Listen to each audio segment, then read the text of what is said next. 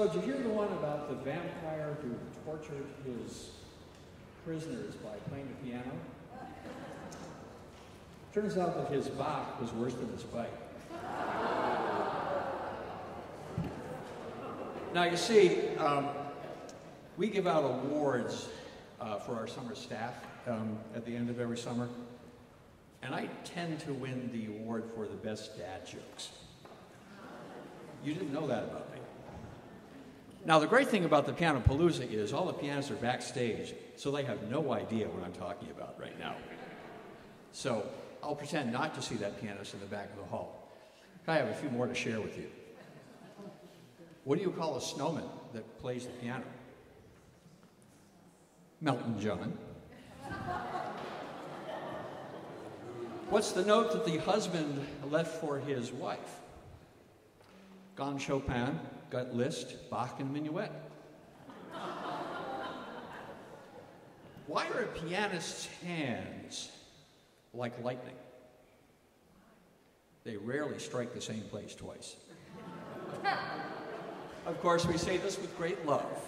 Uh, for the one night a year during the summer when we invite our pianists to spend so much time mentoring, performing, learning how to be entire orchestras with their 10 fingers, uh, to have the stage to themselves. And it is always a night of brilliant playing, and it's invariably entertaining. So um, we're thrilled that you're all here to see our annual Piano Palooza. Even last year during our uh, virtual institute, uh, the pianists got together and solo works, and as you'll hear tonight, some piano four hands, some two pianos, and uh, even some piano eight hands. And you're going to see a lot of that this evening as well. So I hope that you enjoy the program.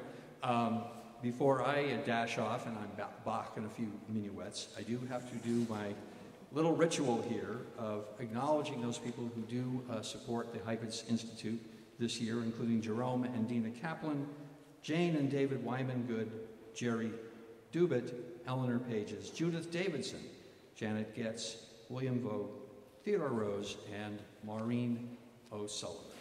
Enjoy the program and thanks for being part of the Piano Palooza 2021.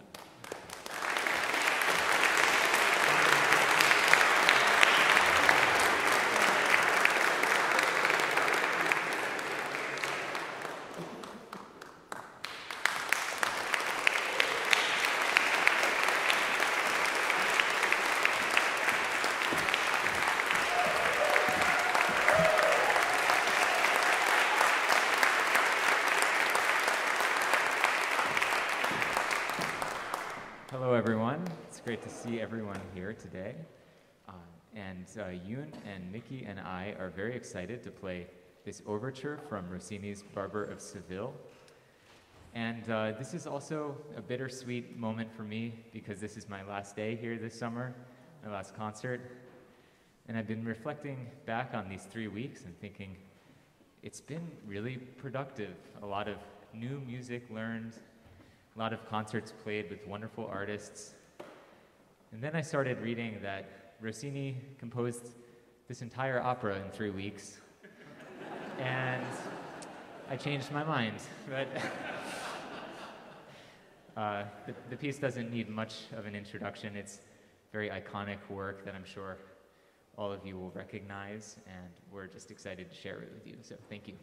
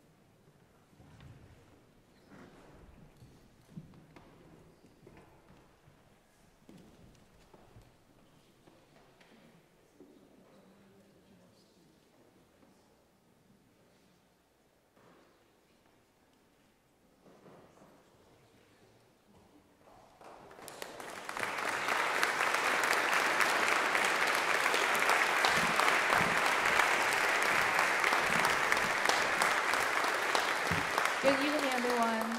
My name is Beilin. Um, the next piece I'm going to play is called Liuyang River, and it's composed by Chinese composer Wang Jianzhong. Um, the piece is based on uh, basic, uh, very popular folk music. It sounds like. 浏阳河，弯过了几道弯。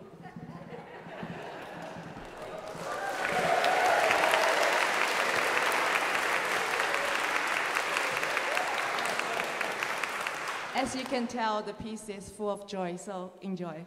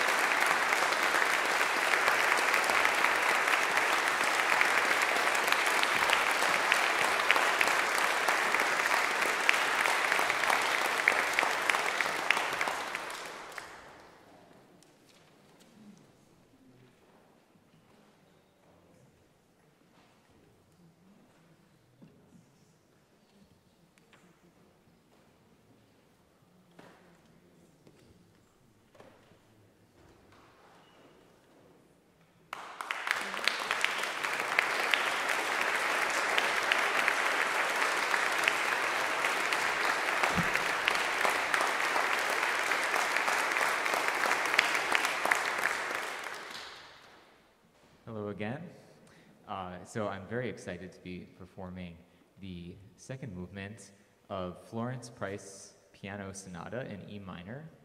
Uh, Florence Price was um, an African American female composer from Little Rock, Arkansas, who, uh, by, the po- by the time that she wrote this sonata, she was living in Chicago, and she had just she she won a composition contest called the Wanamaker Music Composition Contest. She won prizes uh, in two different categories, both for her uh, solo sonata and also first prize for her, her, symphony in E minor, which the following year uh, was performed by the Chicago Symphony Orchestra, which was the first time that the uh, music composed by uh, a black woman had been performed by one of the major uh, symphony orchestras in the United States. And that was in 1933. And she uh, composed this piece, I believe, in 1932, which is when she entered it into the competition. Uh, in her music, she often draws on a lot of traditional uh, African American songs and dances, including um, uh, spirituals. Uh, in many different forms, uh, in arrangements, uh, through uh, direct quotations sometimes, and in the case of this sonata, most likely through using um, melodic and rhythmic aspects of the spiritual and kind of weaving that language into a uh, into romantic uh, period piano textures. it's, a, it's a really uh, beautiful piece, uh, and I really fell in love with this piece the first time I heard it. Uh, and this is the first time I'm performing it, and I'm very excited to share it with you. Thank you.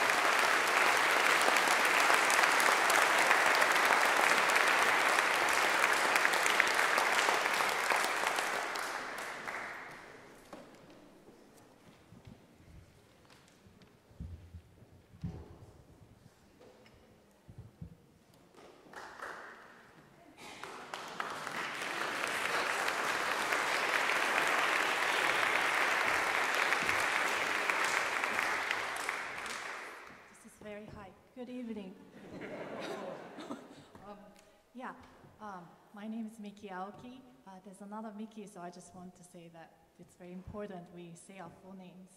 So tonight is, I'm Miki Aoki, and uh, the piece I'm playing for you um, is based uh, on a song by the Russian composer uh, Mikhail um, Glinka, and it was later arranged for piano by another Russian composer, Mili uh, Balakirev. So this, uh, the words to the song is written, it's from the poem of a good friend uh, of Glinka, and I would like to read you that poem. It's obviously an English translation from Russian. The poem is by Nestor Kukolnik, The Lark. Between the sky and the earth, a song is heard. An unending stream of sound pours louder, louder. Unseen is the singer in the field where sings so loudly above his mate, the son- sonorous skylark. The wind carries the song to whom it does not know. She to whom it is sung, she'll understand who it is from. Pour on my song of sweet hope. Someone remembers me and sighs beautifully.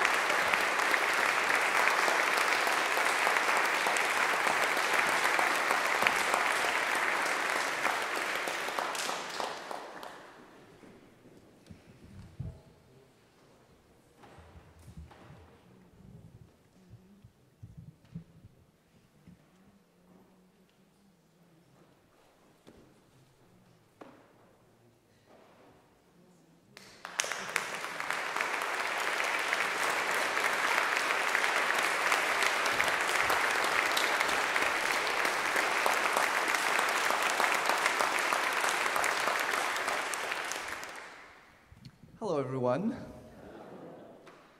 So, my name is Jing, and today I have the kind of immense pressure of finishing the first half of the concert. And, and usually, you know how programming goes, you go from beginning uh, earlier and then later and then slightly later, and finally you have the kind of last composed music. But um, unfortunately, I think we entered too much into the spirit of the barber. And the, the overture, I think, really uh, brought us into a whimsical uh, mood. So we're ending instead with some of the earliest music that's written for any keyboard instrument. And um, so, as you can see on your program notes, he uh, was born in the 16th century.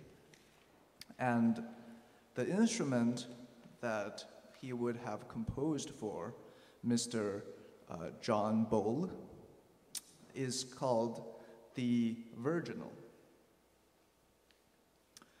And uh, I hope that uh, no harpsichordist friend of mine is watching this because a virginal is about, I think, uh, maybe one tenth of the size of the modern piano and probably 30 times lighter and it produces.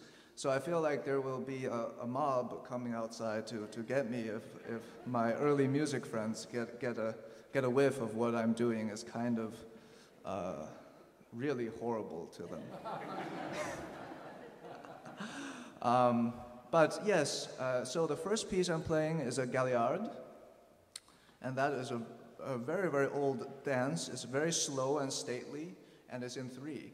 And there's a lot of room for improvisation, and that, that is certainly what they would have done in the day. And it's so old that by the time Bach was writing his suites, for various instruments uh, about a century later, a little more than a century. Nobody was writing galliards anymore. So by then, the most popular dance in three was the saraband, the slow dance. So, so this will be an interesting opportunity to hear the galliard. And after the galliard, I will play the king's hunting jig.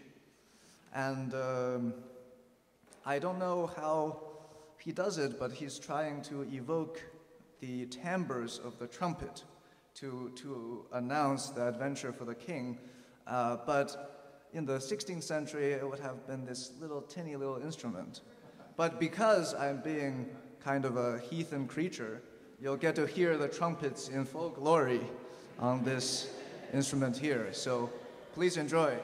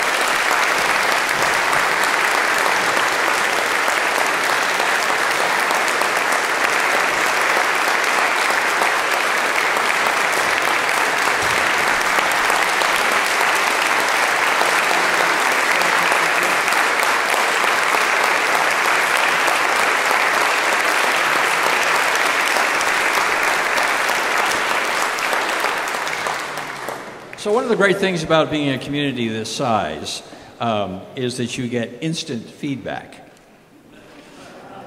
You know, they used to call it, you know, in the, the on the, the newspapers, you know, the, the rushes, you know, like the overnight reviews. So here's the instant review. Jokes bad, tie good. so I'll just have to save the jokes for a little bit later.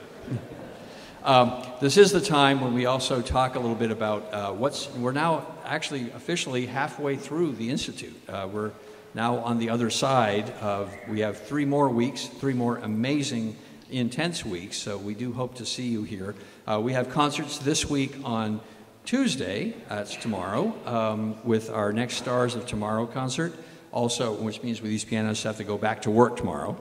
Uh, Thursday, another Stars of Tomorrow concert. On Friday, two concerts. We now do these free concerts at uh, 1 o'clock in the afternoon at the Staunton Augusta Arts Center. And uh, as I mentioned uh, last week, here on in, those concerts are going to be devoted to the really intense chamber music study that our students have been doing here. Um, stop me if you've heard this before. Well, you can't stop me because I have the mic, but um, we, we uh, have groups that are here in different phases, groups A, B, C, D. And uh, now group A has uh, departed here. They're now studying online. Um, but now, this is going to be sort of the final week for group B. So they'll be doing all of their chamber study, their really intense chamber music rehearsals, so that they can perform as their kind of final showcase concert this Friday um, at the Arts Center. These concerts are absolutely free. We do ask that you make a reservation in advance because seating is limited.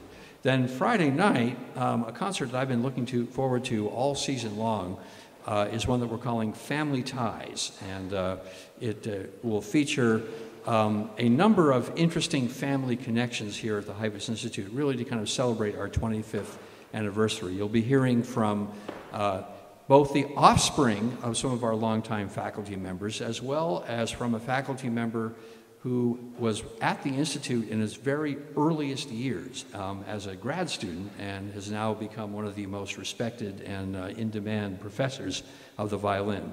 He'll be performing the Borromeo Quartet um, with another wonderful piece by a Virginia composer named Adolphus Hailstork, who this year just turned 80.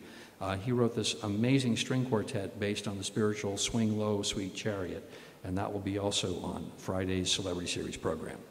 Our Heifetz Hootenanny is on Saturday night, and uh, I have to tell you that what a high note we had last Saturday with uh, Nathan Moore performing uh, with a string section of Heifetz students. It was really an amazing moment, and we have more great things in store for you this Saturday.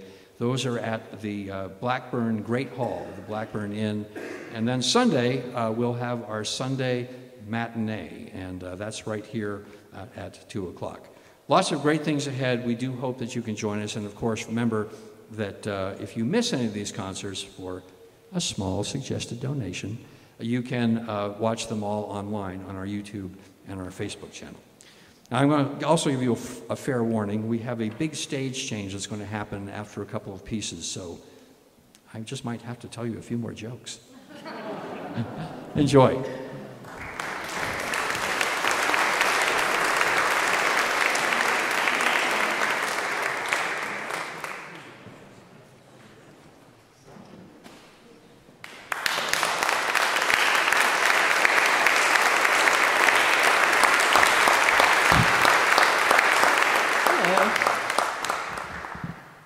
Other Miki.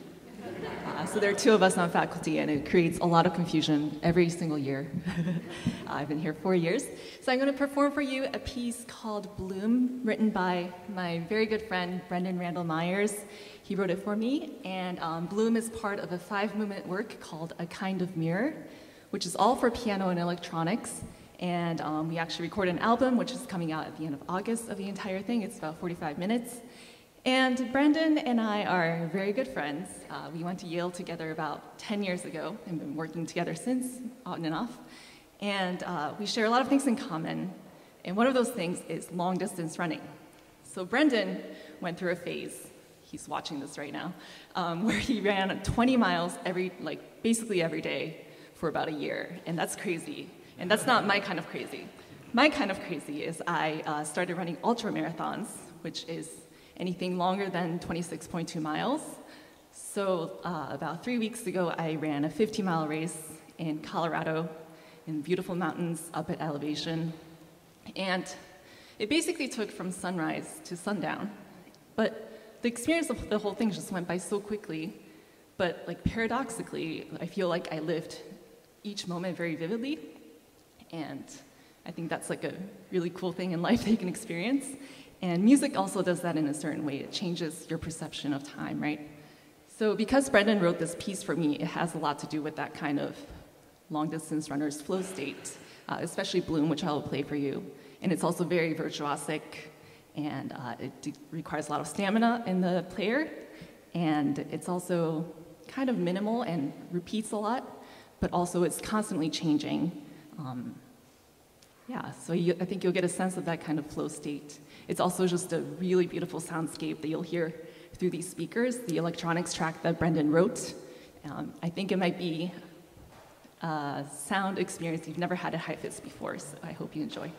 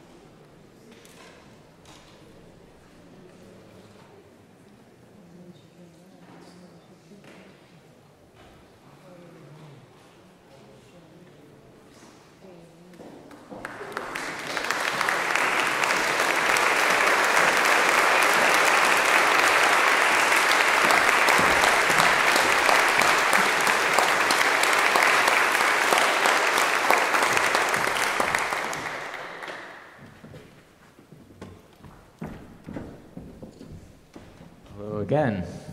Uh, so this, this next piece that we're going to play is the Petite Suite by Claude Debussy. And uh, he was quite young when he wrote it, just about uh, 27 years old.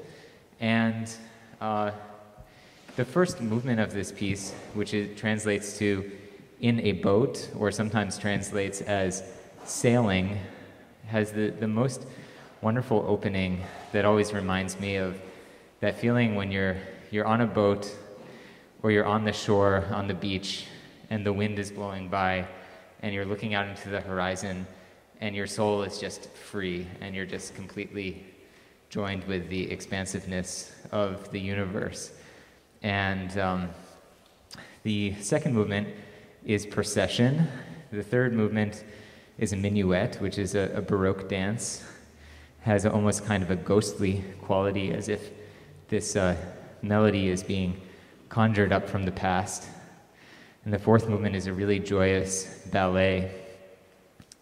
And I, I feel about this piece in general that there's a youthfulness to it in a, almost a, a childlike quality in the best sense of the word, that it's very pure and innocent, and um, and there's just there's a purity of expression that is is so precious. So we're really uh, excited and thrilled to be sharing that with you today. Thank you.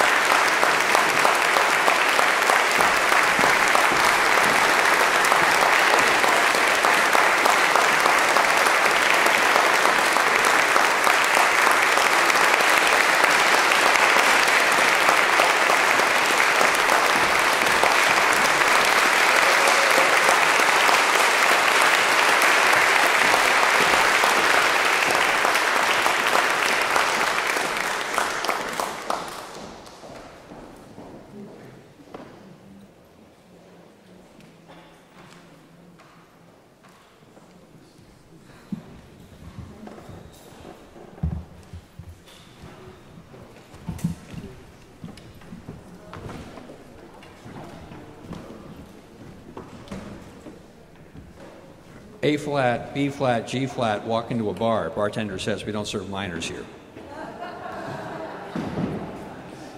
What happens when you drop a piano over a military base? A flat major?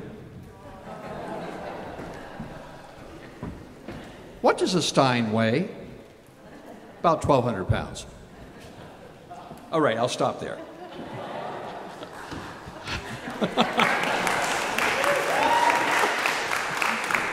Um, you know, I was mentioning earlier, and I, I, get up here and I talk about the commercials and about the concerts that will all take place here. But uh, of course, one thing about uh, having an institute with, with these incredible young musicians is that we also realize that there are people who cannot get out to come to First Presbyterian Church or to the Blackburn or any of our other venues.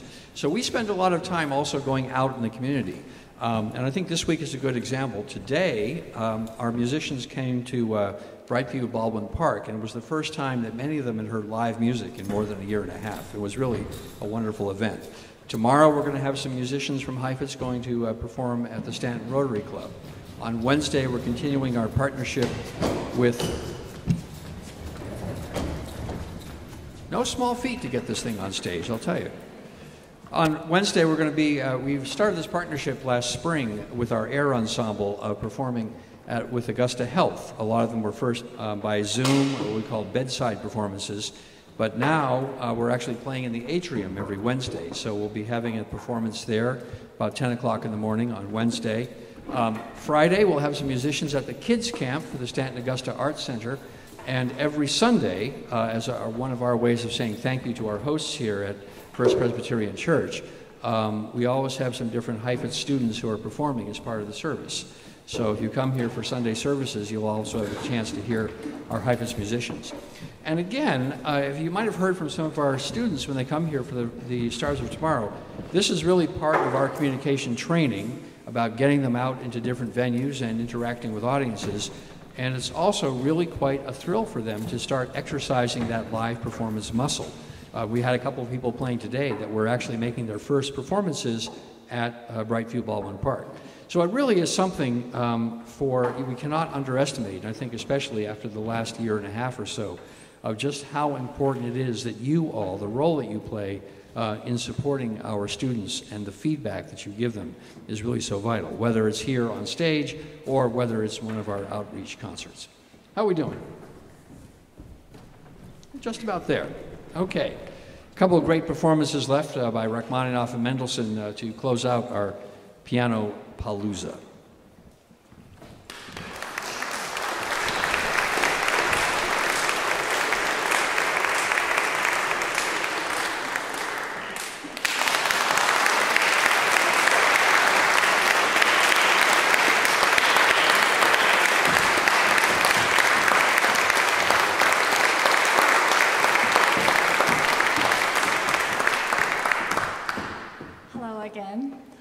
the we'll be playing is Rachmaninoff's uh, Piano Suite Number Two. It was composed in 1901. Uh, it was a very difficult time for Rachmaninoff. Um, he, his first symphony was not very well received four years prior to that, so he was not doing very well, and this piece became the next triumphant uh, work that uh, he again gained confidence uh, to compose great works. So um, in the 1940s, uh, right before Rachmaninoff passed away, he was in Los Angeles. And he actually played this piece with Vladimir Horowitz at a house party. So um, today, Beilin and I are going to play the third movement from this work. Thank you.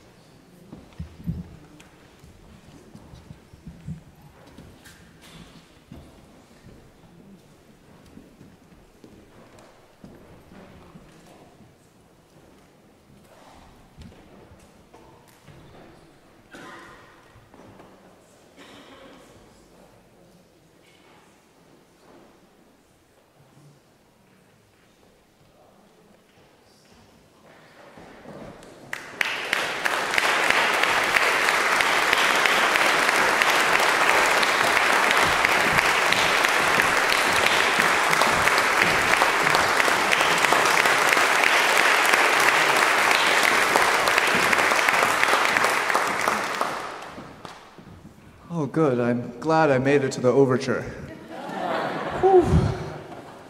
Yes, so um, it's, it's nice, this program. Book ended, we go from the barber to the ass. Yes. And uh, it's kind of, uh, you can really hear sort of Puck all, all over this piece. And um, uh, Mozart, uh, sorry, Mendelssohn. Mendelssohn is like Mozart, uh, very classical, everything very precise. And, but for this overture, he brings out this special weapon. He, he kind of pauses everything for one moment uh, with this very special harmony and then restarts again. And this is, I, I feel like this is a kind of fitting and a magical end to what I hope was a magical evening. Thank you.